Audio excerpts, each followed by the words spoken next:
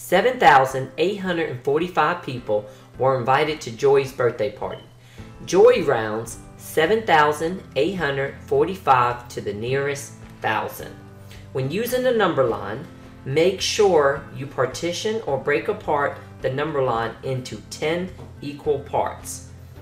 These equal parts will represent the place value on the right of the number you are rounding.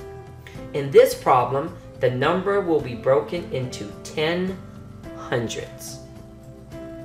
7,100, 7,200, 7,300, 7,400, 7,500, 7,600, 7,700, 7,800, 7,900, and 8,000.